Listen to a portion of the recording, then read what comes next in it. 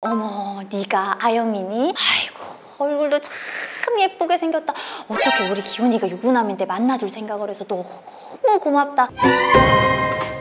결혼 6년 차에 접어드신 분이라고 합니다. 요즘 나이로 하면 나이가 많은 것은 아니지만요. 그 30대 중반에 결혼식을 올리셨다고 해요. 그리고 남편분보다 두 살 연상이셨다고 합니다. 그런데 이 시어머니가요. 처음에 결혼을 할 때부터 사연자분을 굉장히 탐탁지 않게 여겼다고 합니다. 너는 하고 많은 사람들 중에 너보다 두 살 많은 여자를 뭐가 좋다고 만나냐? 네가 뭐가 아쉬워서 외모로 보나 능력으로 보나 너 때문에 엄마가 허락은 하는데 너무 탐탁치 않다.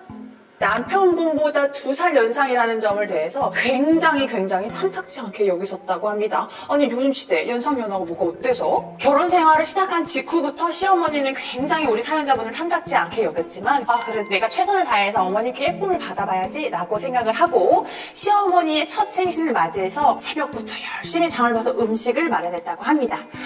어머니 제가 어, 어머니 결혼하고 첫 생신이어가지고요. 음식 많이 준비했거든요. 어, 입맛에 맞으셨으면 좋겠어요 어머니. 한번 드셔보세요. 아휴 밖에서 그냥 고기나 사 먹으면 될 것을 내가 굳이 이걸 먹어야 되니 한번 먹어나 볼게. 아우 니네 친정 엄마는 뭐 너 음식도 안 알려주더나? 아우 너무 맛... 아 됐다. 이거. 그 자리에서 미역국을 들고 가더니 싱크대에 탁 끼얹어 버렸다고 합니다. 나의 정성과 노력이 싹리 무시받아다는 생각에 너무너무 마음에 큰 상처를 입으셨다고 합니다.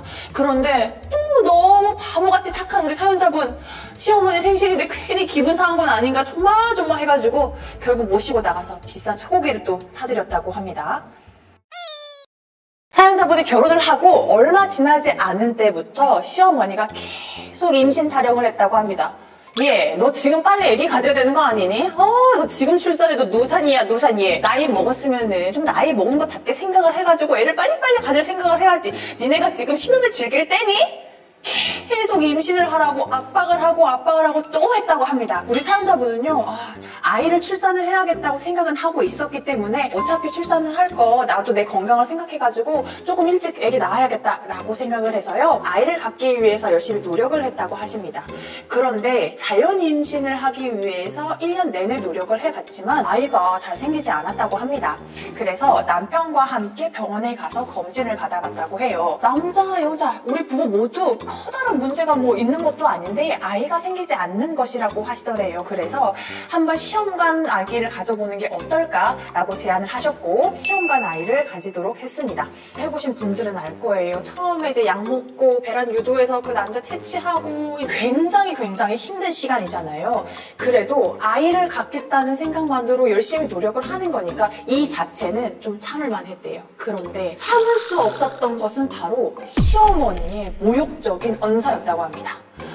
아휴 내가 진짜 나이 많은 여자랑 결혼할 때부터 알아봤다 애기도 못 낳니 너는? 도대체 할 줄 아는 게 뭐니? 네가 나이 먹는 거 말고는 우리 누구네는 결혼해가지고 바로 애기 생겨가지고 아들만 숨 풍숨풍 잘 나왔다고 하는데 그것도 자연 임신도 안 돼가지고 시험관 임신이라 하고 있고 말이야 너 그거 우리 아들이 벌어온 돈으로 하지 말고 니네 친정에서 돈 받아가지고 해네 몸에 하자 있어서 그런 거니까 시험관 아기를 하는 그 과정 자체도 너무너무 힘들었는데 이 시어머니가 지속적으로 모욕적인 언사를 하는 게 너무너무 고통스러웠대요. 그런데 시험관 아이를요 3년, 4년 계속해도 아기가 안 생겼대요. 그러니까 계속 심리적으로 더, 더 위축이 되고 또 위축이 되고 하셨던 거죠.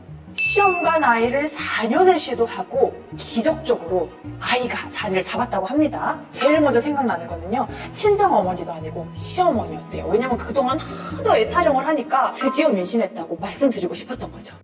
어머니 저 이제 애기가 자리 잡았대요 이제 좀 있으면 애기 나올 수 있대요 아이고 자랑이다 자랑이다 그동안 쏟아 부은 돈이 얼마인데 당연히 생겨야지 아 그리고 일단은 아들인지 아닌지 확인하기 전까지는 모르니까 뭐 일단은 기다려볼게 칭찬을 받을 줄 알고 얘기를 했는데 아들인지 확인해야 된다고 너무 어이가 없잖아요. 이게 근데 그대로 영향을 미쳤었나 봅니다. 너무너무 안타깝게요. 안정기를 넘기지 못하고 아이가 유산이 돼버린 거예요. 그런데 시어머니가요. 마음에 비수를 꽂는 말들을 하기 시작합니다. 자연 임신도 안 되고 시험관 시술 아 진짜 네가 제대로 할 줄 아는 게 뭐가 있니? 아 어머니 그 저도 노력하고 있는데 그래도 제가 애 낳는 기계는 아니잖아요 어머니 제 마음도 좀 헤아려 주시면 안 될까요? 야 네가 옛날 말로 치면은 씨바지지 뭐냐?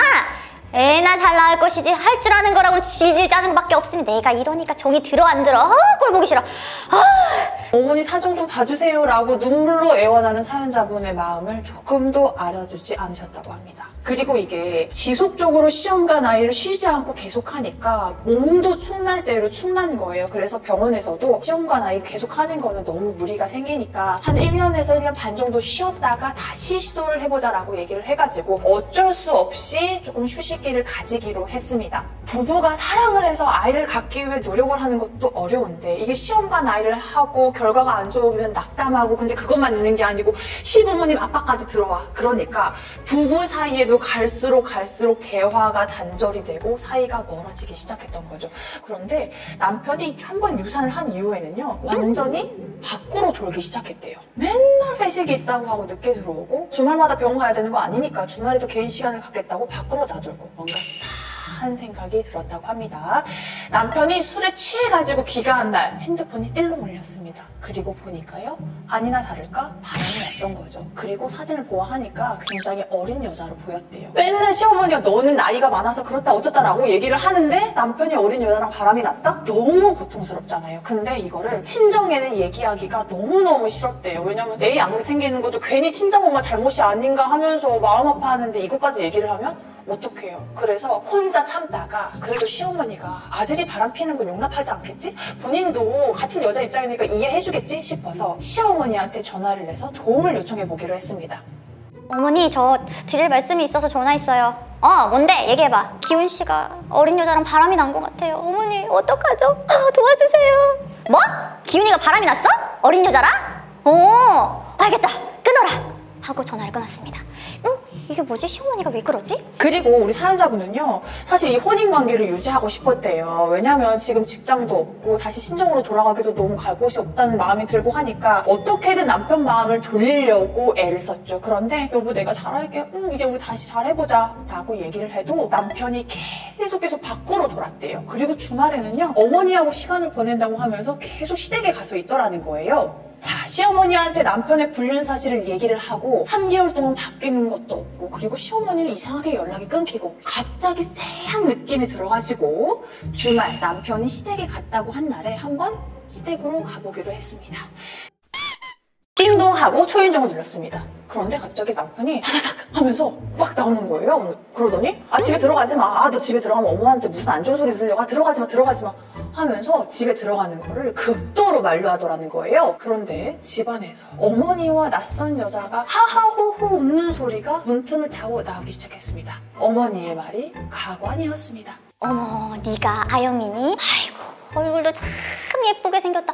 어떻게 우리 기훈이가 유부남인데 만나줄 생각을 해서 너 무 고맙다. 조금만 기다려줘봐. 내가 이혼하게 만들어 줄 테니까 조금만 기다려봐라. 응, 내가 알아서 다 이혼하게 해줄게. 그리고 우리 아들하고 다시 결혼해. 알겠지? 처음부터 이런 애를 만났어야 되는데 내가 진짜 이제야 좀 속이 풀리는 것 같다. 우리 사연자분은요 바람을 핀 남편 그리고 거기에 앉아서 웃고 있는 그 여자 그 둘도 너무너무 싫었지만 나한테는 혼인 생활 6년 동안 그렇게 모욕적인 언상 할줄 아는 게 뭐니 이게 전부였는데 그 아영 씨라는 그 여자한테 하하호호 하고 있는 걸 보니까 미치도록 열받았던 거죠. 그래서요, 우리 사연자분이 궁금한 것은 첫 번째로는요, 당연히 남편하고 이혼할 수 있는지, 두 번째, 가장 가장 궁금한 점은요, 이 시어머니한테도 소송을 제기할 수 있을지가 가장 궁금하다고 하십니다. 조선시대도 아닌데 지금 아기를 낳네, 마네, 막 이렇게 하고 난리치는 시어머니가 아직도 있다는 사실이 정말 너무 놀라운데, 일단은 제가 침착하게 마음을 가라앉히고 솔루션을 제시해드리도록 하겠습니다. 첫 번째로요, 남편과 이혼할 수 있을까요? 네, 당연히 가능하죠. 남편이요, 아주 적극적으로 부정행위를 했습니다. 민법 제840조 제1호에는요, 부정행위를 한 때를요, 이혼 사유로 지정하고 있기 때문에 당연히 남편하고 이혼이 가능하고요. 물어보지는 않으셨는데요. 아까 사연에서 그랬잖아요. 시어머니가 이혼할 때까지 좀만 기다려주렴 했다는 거는 기혼자인 걸 당연히 알고도 가가지고, 네, 어머니 하면서 지금 했다는 거잖아요. 그렇기 때문에 상간녀 소송 당연히 진행 함께 가능합니다. 두 번째, 아, 이거는요, 정말 많은 분들이 궁금해 하실 거예요. 왜냐면 사연자분뿐만 아니라 우리 의뢰인분들도 늘 궁금해 하시거든요. 자, 우리 사연자분 사연 같은 경우에는요, 시어머니가 아주 적극적으로 기다려라. 내가 이혼하게 해줄 테니. 음, 하하 하면서 아주 적극적으로 옆에서 아들의 이혼을 종용하고 있잖아요. 그렇기 때문에 시어머니가 혼인 파탄에 가담한 책임이 있습니다. 그래서 민법 제750조에 따라서 불법행위가 되거든요. 아들의 혼인 생활을 망친 게 되는 거죠. 그래서 위자료 청구를 하시는 것이 가능합니다. 마음을 단단히 먹으시고 남편, 상간녀, 시어머니 아주 three combo로 꼭 소송을 진행하시길 바라겠습니다.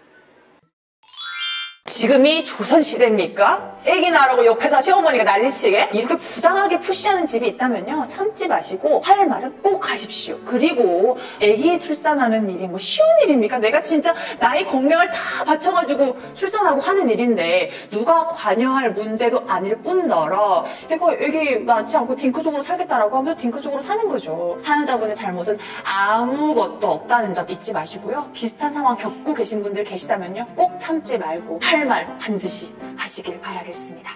오늘 사연 보시면서요 궁금한 점 있으셨다면 아래 댓글로 남겨주시길 바랍니다. 나도 마음속에 담아둔 고부 갈등이 있다. 라고 하시는 분들은요 아래 메일 주소로 사연 보내주시면요 제가 사연 소개해드리고 맞춤 솔루션 제시해드리도록 하겠습니다. 오늘 동영상 재밌게 보셨다면요 구독, 좋아요, 알림 설정 부탁드리겠습니다. 안녕.